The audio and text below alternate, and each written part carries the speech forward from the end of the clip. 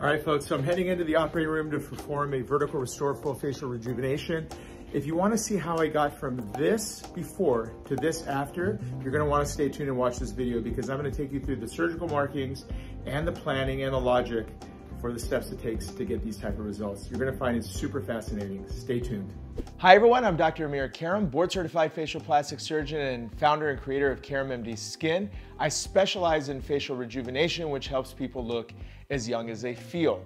And today I've got a real treat for you. On that note of helping people look as young as they feel, I'm gonna take you through step by step of what goes through my mind as I'm planning a surgical outcome for my patients. I wanna preface this by saying all of this preparatory work is not done at the time of surgery. It's not done in the operating room.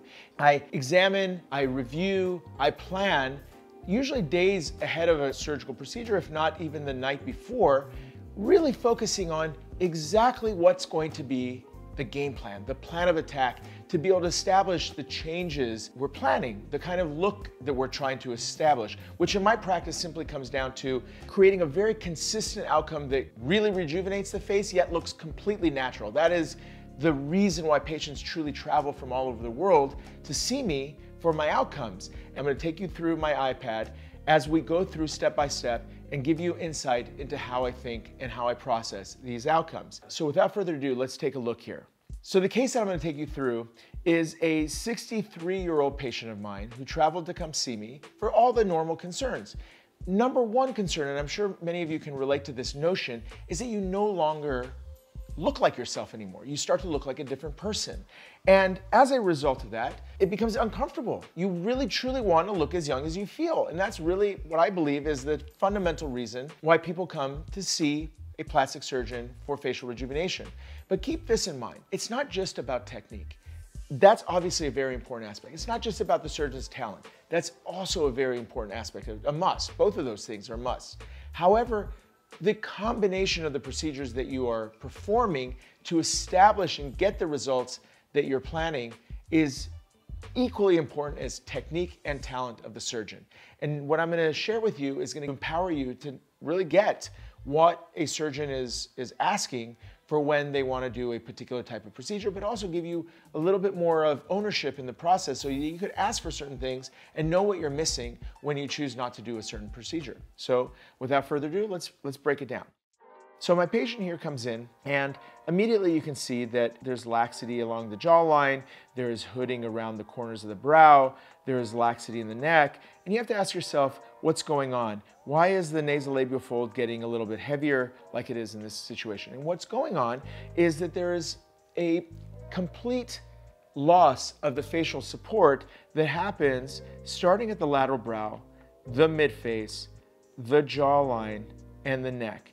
And that is because this entire fascia, envelope, starting in our late 40s and early 50s, that starts right up in here along the temporal bone and then comes down here all the way to the neck, all of this fascia begins to loosen and elongate. So that's why is that you're gonna hear what I talk about is comprehensive. All of this needs to be addressed simultaneously in order to create a rejuvenated youthful look. Now let's look at other areas of the face that are starting to sag. You can see, as I mentioned, the corners of the brow, which is lax here and it's starting to get heavy. You can see the extra skin in the upper eyelid. You can see that on both sides. You can see this extra skin here in the lower eyelid. But really important, if you look at the lower eyelid, this is something I'd like to point out, is the distance between the eyelid and the cheek as you get older gets longer. This is called the eyelid cheek junction. This is gonna be significantly improved in the post-operative photo that I'm gonna share with you. And you're gonna understand why this is so important because this is the secret to looking more refreshed around your eyes, something that's often neglected. Now, further in the, uh, the, in the category of facial laxity, you start to see the top lip is starting to get a little bit longer as well. Because all of this fascia, everything that we just described here, all of this from top to bottom, is undergoing the same changes at the same time. So it wouldn't make sense that the jowls and the neck is getting longer yet, you know, the mid face or the lateral brow is, is not changing. All of it is changing simultaneously as well as the lip and the upper lids. So these are the, the areas of the face that begin to show elongation, which is consistent with the change in the facial shape that truly is the underlying motivation for everyone who wants to eventually come in and get a quote unquote facelift. They want all of this absolutely addressed. But you don't always understand what it is, and not every technique, every approach addresses all of this at the same time. So this is important. Now let's take a second and look at areas where you're beginning to lose facial volume. So the face ages by three different things happening simultaneously. The skin ages, we lose facial fat in certain areas, which I'm going to describe, which will surprise you because it's not in the same areas that you might think. And we start to sag. As I demonstrated, the sagging is the one that really gives you the major change in facial shape. But now let's look at the areas of the face that begin to lose volume. Areas that of volume loss are going to be under the eyes, they're going to be above the eyes, in the beneath the brow. A lot of people don't don't understand this aspect. And once you see it, you see it everywhere you go. The temple begins to lose volume. The lips begin to lose volume. This area along the jawline, we call it the prejowl region, begin to lose volume. So when you look at the face, you start to see a deflation of these structures around the periphery of the face and centrally to the face. But here's the, the caveat. Most of the time when you go in to get fillers, where do you normally get filler? You typically will get filler in the nasolabial fold. You'll get it in the cheeks, you know, different parts of the cheeks. And of course, you get it into the lips. Two out of three of those areas don't even lose volume with age. And this is why people start to look so strange because they're trying to put filler into these parts of the face so that they could lift the face, but it doesn't work that way. We've learned the hard way over the last 20 years. But when you address volume in the areas that have actually lost volume, you create a very refreshed looking face. And I'm gonna show you this in the after photo. All right, so let's take another look at a different angle just to give a little bit more emphasis on exactly what we're seeing. So facial sagging affects these areas and you can really appreciate the changes, right? So what you want to do as part of this entire process is you want to address these changes by reversing vector, by going in the opposite direction that they have come from. When you do this, you'll see that like pieces of a puzzle, everything fits back together. You want to shorten this distance between the lip. You want to shorten this distance in the eyelid cheek junction, and you want to remove some of this extra skin along these, these areas, right? That's the surgical approach that it would take to completely address these changes. And from the profile view, we're looking for what's happening to the angle of the neck. As you can see here, the neck angle has basically lost its contour. The ideal neck angle in this case would be effectively 90 degrees. All of this here should be tucked up. And the only way to tuck it up is by taking the neck muscle and repositioning it back to where it comes from. But if you do that, you can see that this area needs to be lifted as well, and this area needs to be lifted as well. Otherwise, you're gonna end up with a roadblock and you're gonna get wrinkling of tissue in this area if you try to lift the face in a vertical fashion. So this is how my results differ, and this is one of the things that is very, very important basically philosophy or paradigm of my surgical outcomes. Number one, I address the entire face in totality. I believe in the same exact way that if you were to literally take a kitchen and remodel it, if you left parts of it that belong to 1950s and parts of it belong to, you know, current time, you're gonna get a mismatch that just looks a little off. And the same thing happens with the face. It either ages together or it should be younger looking as a whole. You shouldn't have bits and pieces of it that quite frankly don't match. So what we're looking at here, this is kind of going through exactly how I, I, I approach the whole thing together. My vertical restore procedure lifts the corners of the brow, mid-face, jawline, and neck all together. I perform a, uh, a, lip lift to shorten this distance right in through here. I perform a lower eyelid skin pinch and fat transfer to shorten this, this distance in this area. And then we're gonna add fat transfer to this area up here, this area here, this area in the mouth. We're gonna add it to the areas around the jawline. And then what we're gonna do is in the end, we're gonna see a facial shape that currently looks like a square. We're gonna see this face take on a much more youthful position, which is going to be like a heart as the jawline trims up. So let's talk about incisions because this is something that comes up all the time.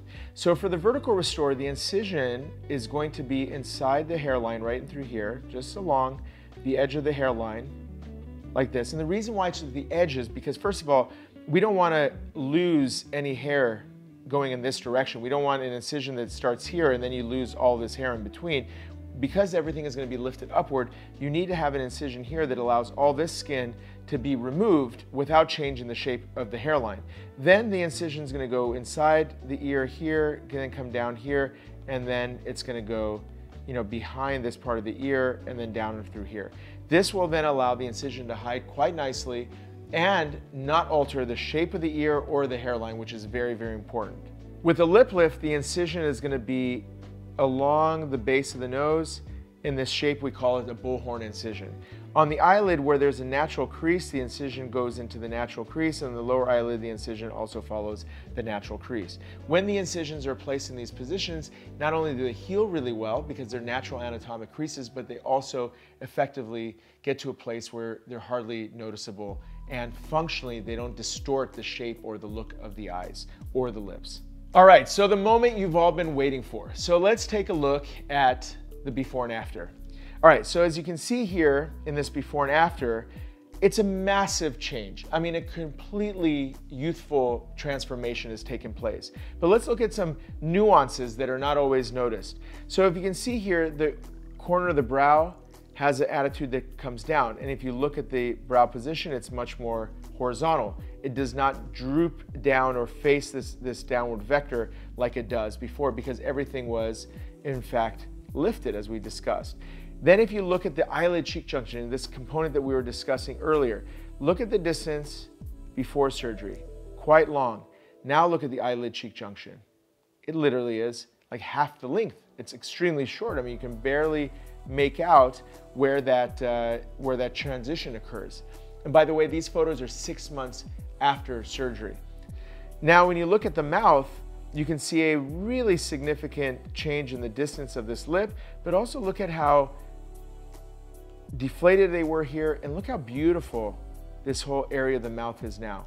Gorgeous, gorgeous shape, fullness, short upper lip, which is very youthful. But then when we look at this shape of the face, remember we talked about an elongated facial shape? Look at how clean and youthful this is. This is really that heart shape that we're describing. And if you really think about how much shorter this face appears, it's really kind of mind blowing because again, aging has lengthened the face and we've shortened it. And if you look at the areas that have received facial volume, look at the hollowness that exists under here. This is all filled. Look how soft and pretty this is under here. This area above the eyes all softened and filled with a little bit of volume. The lips look much more full and pretty. This area around the jawline, smooth and soft now without all that uh, excess um, deflation and, and uh, hollowness. All right, so now let's take a look at the three-quarter view. So in the three-quarter view, again, you can see the areas of the corner of the brow have been elevated. The mid face is not as heavy along the nasolabial folds. You've got this beautiful sweep of the jawline. There is literally no laxity whatsoever, just a very clean overall neck with no laxity there. And then the overall sweep is in this vertically oriented direction. So pretty, so beautiful. I love this. And when you look at the other side, you see again just a beautiful change along this area with a high malar mound and clean lateral brow, very little hooding around the mouth, and again, a sweeping, beautiful jawline. Short eyelid cheek junction. And when we look at the true profile view, this is what's fascinating, is if you look at it, remember the neck before had this basically oblique sort of change? No, now look at how incredibly sharp and defined this chin neck junction we call the cervical mental angle. Incredibly, um, you know, uh, angulated and removal of all the soft tissue here. But keep in mind some very interesting things. Take a look at the incisions. Remember I drew them out for you? This is where the incisions are. I mean, you literally can't, you can't see them. They, they live along here. They live along here, behind here, here, here, and here. And you literally can't see them. Look at that. Now again, we're not saying that everyone is gonna heal without an incision, but this is a pretty good close-up view of where the incisions, and if you notice how natural the shape of the hairline and the ear is. This whole segment right here, looking completely normal, is an incredibly important part of going under the radar of having a facelift. Because a lot of times when people have facelifts, the earlobes will pull downward, you get a complete weird shape around here, and a lot of times the hairline goes up like this, as opposed to being in its normal position. So at the end of the day, this entire face has been rejuvenated in a very comprehensive way, and she looks totally natural, completely rejuvenated, and it had to do obviously a lot with the technique and the ability to perform them well, but also the fact that we chose to perform a vertical restore, upper and lower eyelid blepharoplasty, a lip lift, a fat transfer, all together in order to achieve these changes.